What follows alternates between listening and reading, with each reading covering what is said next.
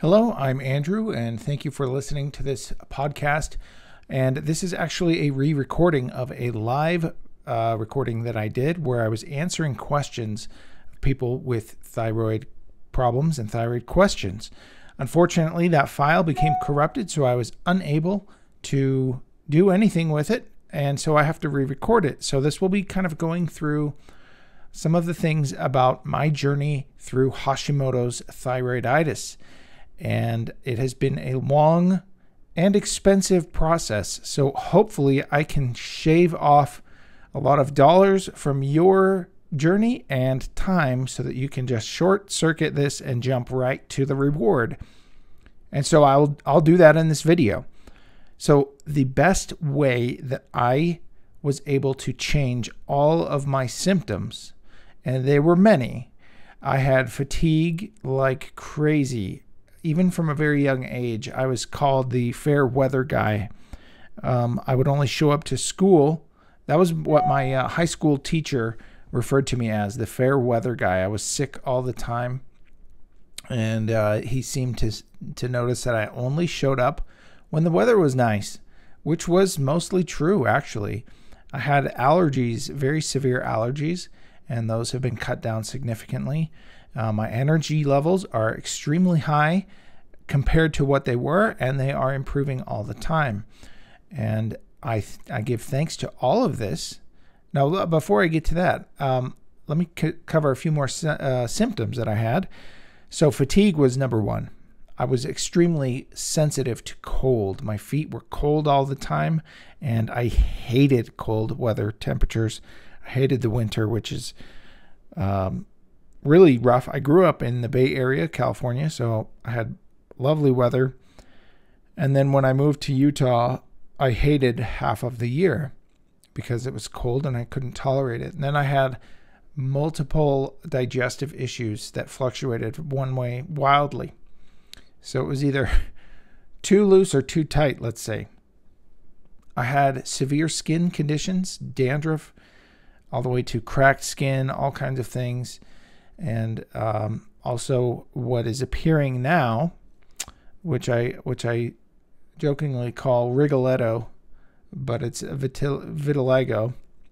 Um, and there's speculation that, that that is an autoimmune reaction as well. Um, I had kind of inflammation and puffy face, um, and just inflammation in all of my joints, which is gone and I watched a video of me early in my thyroid journey, and I had a very puffy face. I don't have that, and my tongue was was swollen. It was almost like it was too big for my mouth. And then I just had a hoarse voice. I've always had that. It's somewhat better, um, but also muscle weakness, and that was uh, just the worst because people just think you're lazy, and you're not. And so you get judged, and it's very unfortunate because in my mind and in my heart, I knew that I didn't want to be a lazy, useless person. And yet there I was, incapable of exerting myself at all, really. Just no endurance. And half the time it took, you know, unless the house was on fire, which fortunately it never was, but even then, you'd, if I was in a house that was on fire, I'd be weighing my options in bed. this is all uh, just a um, speculative instance. My house was never on fire, but that's that's kind of the way it was. And then you deal with forgetfulness. Um, there's and I do have a good memory. I rem- I have very strong memories and very uh, I can recall things but when it comes to remembering people's names, for instance, I was awful and it, I felt so bad. I just couldn't do it. And I would, like, if I was around people in the neighborhood that I should know, I would just walk by and say, Hey, how's it going? I never referred to them by their names. And then once my thyroid issues have been resolved, my memory came just flying back. I was able to remember their names. And I would just hesitate for a long time calling people by their name because I wasn't sure if it was their right name. And so it was, it was a, it's a very tragic thing on, on so many levels. Then there's also uh, insomnia, where you might be sleeping a lot and you would wake up and still feel exhausted, or you'll go to bed and you'll wake up, you know, an hour or two later and you can't get back to sleep. It's just horrific all around. Then there's also the whole byproduct of that, which is weight gain, which can lead to diabetes and all kinds of symptoms that way as well. So, all across the board, it's just a whole nightmare scenario. And so, what I wanted to talk about was what I did the most. Now, I at first started reading and learning, and I learned that I had Hashimoto's when somebody sent me a list of symptoms, and I checked off pretty much everything on the whole list. I said, That's me. And it, this was a long journey, but I went to a doctor. They prescribed um, some NP thyroid, which is the natural form of thyroid. And I took it, and within days, I literally started having energy and I literally cried because I thought this is what normal people feel like. But over time, I had to take more and more, and it seemed to be working less and less. And it was just frustrating because that was the only real solution that doctors were providing. Now, it, there were some things that I started taking forms of iodine, and I will put links on this on my website page, which is andrewkalina.com, and I'll have some links to some products that I'm referring to. But I started taking iodine and supplements, and some worked and some don't. The one that I found worked the best, uh, that I had the best results with, that I take regularly now, is called Liqui-dulse. It's a natural form of iodine. And I also take uh, sea kelp from uh, Iceland, the oceans in Iceland, as a very specific kind that seems to be the cleanest and highest grade because there are different grades. Now, in going through these things, I started making discoveries and realizations about when I would have energy and when I wouldn't. And one of the earliest things that I discovered was when I when I was in my early 20s, I couldn't get out of bed. And I noticed that if I could if I could get out of bed and use my electric razor to shave, I magically had more energy very quickly. And what I realized was was the ultra high vibrations of the frequency of the of the uh, razor was actually stimulating and my thyroid to excrete whatever hormone was there. Now I didn't really know what was going on at the time, but it wasn't until much later. But then I, I when I once I realized, hey, I really think I have a thyroid problem. I went to the doctor. They did the blood tests checked my T3 T4 levels, my TSH, and they tested to see if I had the Hashimoto's uh, antibody, and all everything lined up that I had a severe thyroid issue. But like I said, it didn't solve the problem. Now, what did solve the problem was a massive dietary change.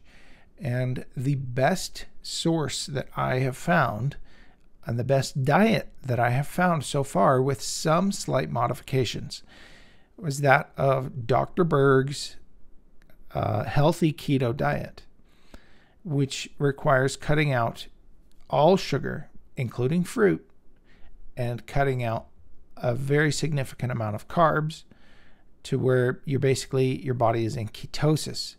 Now, aside from the benefits of losing weight, and just having my joints function properly and clarity of mind, my energy levels have gone through the roof and I feel fantastic.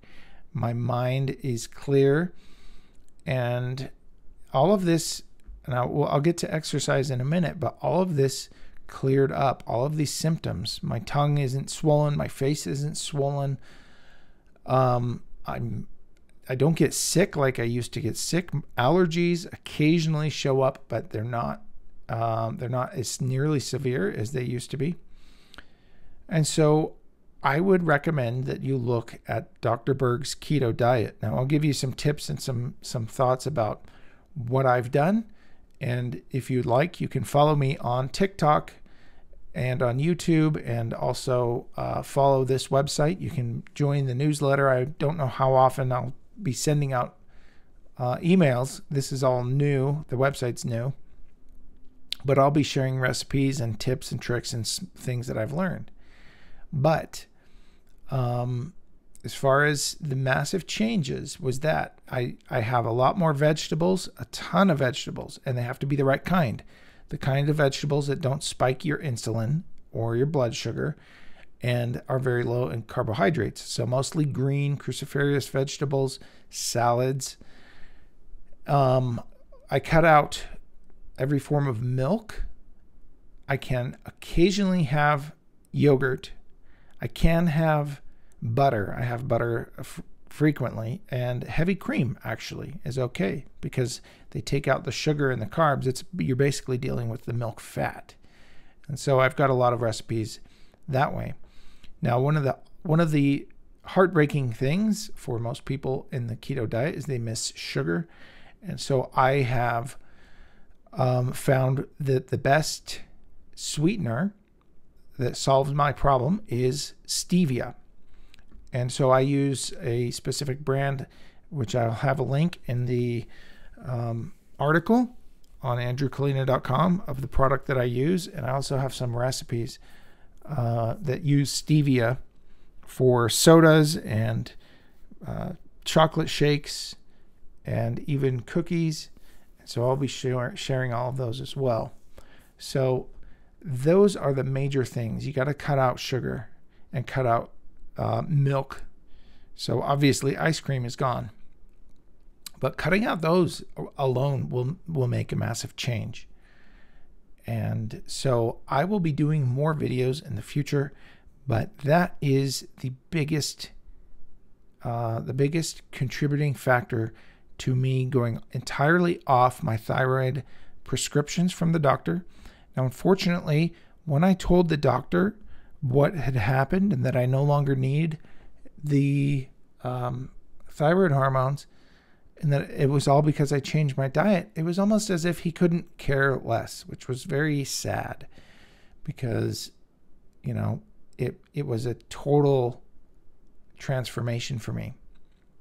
And, you know, unfortunately, that does not bode well for the medical industry that makes money off of you being sick and trying to treat the symptoms versus the um, the actual root cause. So that was my experience. Now, if you have any questions, you can ask them here on the website, and you can also ask them in the uh, TikTok comment section or on my YouTube. And I will be going through periodically updating this Hashimoto's Q uh, Q and A and how I cured it. But until then, thanks for watching and have a great day.